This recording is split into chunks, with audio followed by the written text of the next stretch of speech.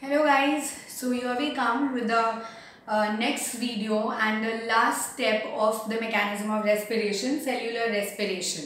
I had already mentioned in the last uh, video about the detail and the summary of the entire uh, mechanism of respiration. अच्छा जैसे हमको पता है cellular respiration is the last step of mechanism of respiration जहाँ पे the oxygen is being utilized and converted into energy or in the form of heat okay? So what happens is uh, cellular respiration is a two step process. पहला oxidation दूसरा phosphorylation.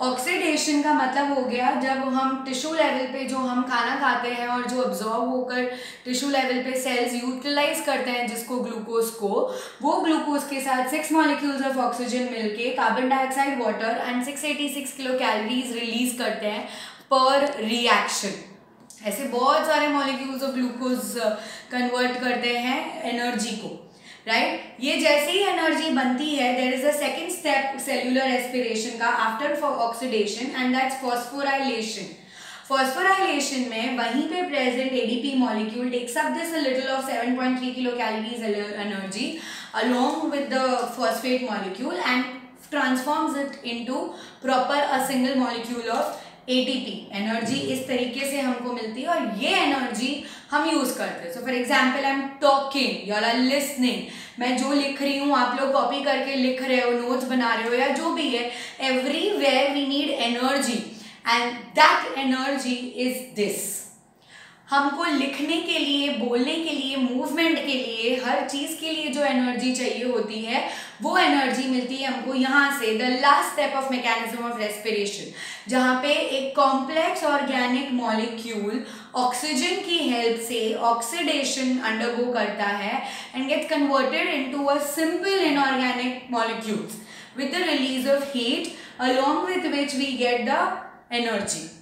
This is the last step of cellular respiration mechanism of respiration और अभी ये जो नीचे आप देख रहे हो, मैंने समराइज कर रखा है पूरा चार step I repeat again mechanism of respiration is divide into four step breathing inter external movement internal movement and cellular respiration okay beginning with breathing हम ब्रीद इन करते हैं ऑक्सीजन राइट एंड देन फिर आता है external respiration जहाँ पे partial pressure की वजह से ऑक्सीजन ट्रैवल करता है एल्वियोलर एयर से एल्वियोलर ब्लड में पल्मोनरी आर्टरीज के ब्लड में।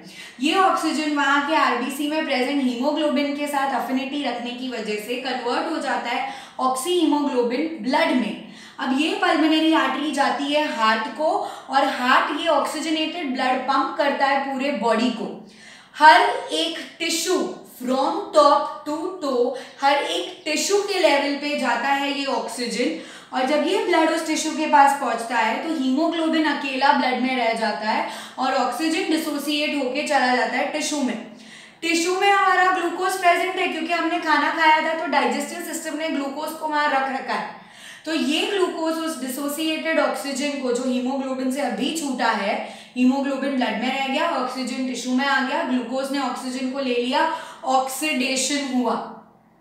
अब ये ऑक्सीडेशन से हमको एनर्जी मिली। करेक्ट एनर्जी के साथ साथ हमको कार्बन डाइऑक्साइड और वाटर भी मिला। We all know that carbon dioxide now shift it to blood internal respiration transport of oxygen के यहाँ पे। Now this carbon dioxide when shifts to blood plasma में वो बन जाता है carbonic acid only three percent बाकी का कार्बन डाइऑक्साइड जो 23 परसेंट सॉरी 27 परसेंट है वो हीमोग्लोबिन जो यहाँ पे अकेला छूट गया था, उसके साथ मिलके बन जाता है कार्बमाइनो हीमोग्लोबिन। ये वाला फिर आपके एल्वियोलर सैक के पास जाके हीमोग्लोबिन यहाँ छूट जाता है ब्लड में ही और कार्बन डाइऑक्साइड शिफ्ट हो जाता है लंग्स में due to partial pressure again अब समझा क्या हुआ? ये सर्कल समझा क्या हुआ? यहाँ जो छूटा हुआ हीमोग्लोबिन है, अब ये ऑक्सीजन अंदर आने वाला इस छूटे हुए हीमोग्लोबिन को लेके ये सर्कल पूरा करेगा। ये हो गया हमारा पहला पॉइंट ऑक्सीजन का ट्रांसपोर्ट और कार्बन डाइऑक्साइड का ट्रांसपोर्ट आरबीसी में, in lung blood and tissue level पे। नेक्स्ट प्लाज्मा में ये कार्बन डाइऑक्साइड जो यहाँ से रिलीज़ हुआ, यहीं से रिलीज़ होगा और कहाँ से रिलीज़ होगा। तो यही थोड़ा कार्बन डाइऑक्साइड थ्री परसेंट लेता है और कन्वर्ट होता है कार्बोनिक एसिड में प्लाज्मा में। और ये कम जाता है आपके कार्बन डाइऑक्साइड के पास तो ये वापस ब्लड जो पल्मोनरी आर्टरी के पास जाएगा पल्मोनरी वेन के पास वो डिसोसिएट होके वाटर रह जाएगा प्लाज्मा में ही और कार्बन डाइऑक्साइड वापस शिफ्ट हो जाएगा एल्वियोलर एयर में। पार्ट थ्री में आता है bicarbonate ions which is like almost seventy percent of transport of oxygen यही कार्बन डाइऑक्साइड जब आरबीसी में एंटर करता है तो ये कन्वर्ट हो सॉरी प्लाज्मा में बन जाता है। हमने ये रिएक्शन देख रखा है। Sodium and potassium bicarbonate forms में स्टेबल है। ये सोडियम और पोटेशियम बाइकार्बोनेट जाएँगे आपके लंग के pulmonary vein pulmonary sorry artery के पास। और ये पल्मोनरी आर्टरी जाएगी आपके एल्वियोलर सैक के पास। ये एल्वियोलर सैक पे अभी बाइकार्बोनेट आयन छूट जाते हैं ब्लड में ही सोडियम पोटेशियम निकल जाते हैं। कार्बोनिक एसिड बनता है और कार्बोनिक एसिड फिर वाटर और कार्बन डाइऑक्साइड छोड़ के इस तरीके से ये कार्बन डाइऑक्साइड भी शिफ्ट हो जाता है एल्वियोलर एयर में. सो कार्बन डाइऑक्साइड शिफ्ट हो गया एल्वियोलर एयर में. कार्बन डाइऑक्साइड शिफ्ट हो गया एल्वियोलर एयर में. यहाँ पे भी कार्बन डाइऑक्साइड शिफ्ट हो गया एल्वियोलर एयर में. This was the entire summary of mechanism of respiration from the external air till the tissue level where energy is transformed and also carbon dioxide is given out through the body. Now we are left with a one small topic called as pulmonary volumes and pulmonary capacities which we are going to discuss now and that would be the end of the topic of the chapter called mechanism of respiration. So let's see. So now we are going to talk about pulmonary volumes and pulmonary capacities.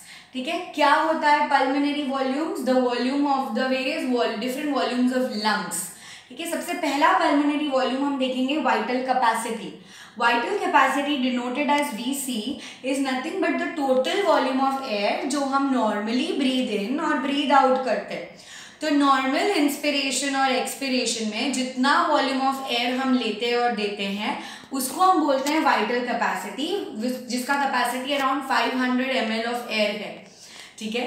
Second is inspiratory reserve volume also called as I inspiratory reserve volume is the volume of air जो हम normal breathing करने के बाद forcefully अंदर लेते हैं। जो forcefully breathe in करना होता है नॉर्मल ब्रीदिंग के बाद, उस maximum capacity of volume of air को हम बोलते हैं inspiratory reserve volume which is around 2000 to 3000 ml उसी तरीके से नॉर्मल ब्रीदिंग ब्रीद आउट करने के बाद, जब हम हैविली फोर्सफुली ब्रीद आउट करते हैं तो उस एक्स्ट्रा वॉल्यूम ऑफ़ एयर को हम बोलते हैं एक्सपिरेटरी रिज़र्व वॉल्यूम मतलब इतनी हमने एक्स्ट्रा ली थी तो जब हम नॉर्मल ब्रीदिंग के बाद उसी एक्स्ट्रा को बाहर फेंकते हैं तो उसको हम एक्सपिरेटरी रिज़र्व वॉल्यूम बोलते हैं.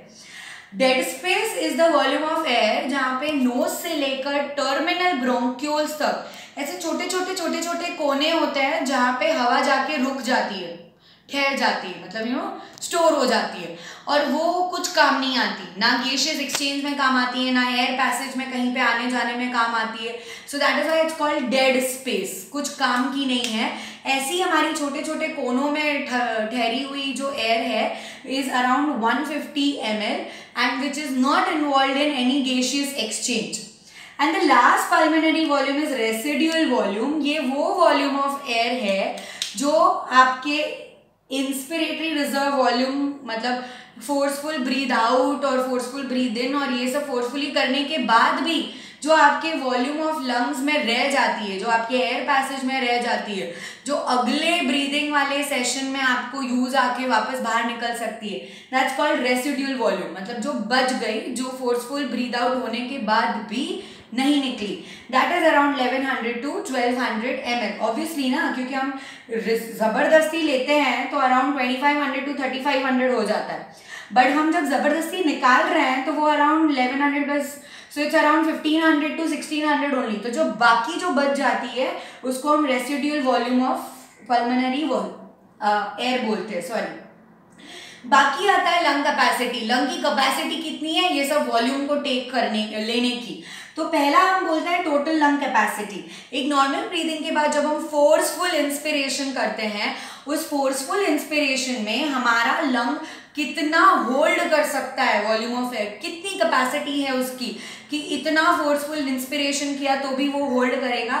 That's called the total lung capacity वो आ गया अराउंड आपका 5200 to 5800 if I would say वो इन सब का टोटल होता है.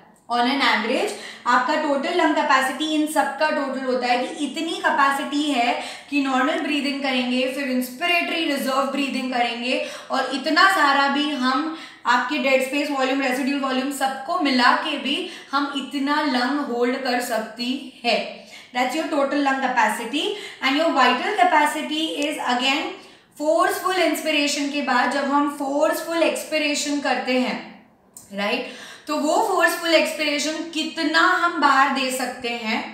That is vital capacity which will be a sum of V C plus I R V plus E R V इतना हम वाइटल कैपेसिटी रखते हैं हमारे लंग्स की V C plus I R V plus E R V हम एक साथ बाहर दे सकते हैं। ये एक साथ अंदर लेके होल्ड कर सकते हैं और ये एक साथ इतना मैक्सिमम लिमिट है हमारा बाहर देने का। Okay, with this I finish the second topic of the chapter mechanism of respiration. So in case of any doubt, please comment me in the section so I will be uh, having a note of it. And remember what are pulmonary volumes and capacities. Remember what is mechanism of respiration. There are two more small topics left regarding respirations and then we'll be starting circulation. So signing out for today. Thank you so much.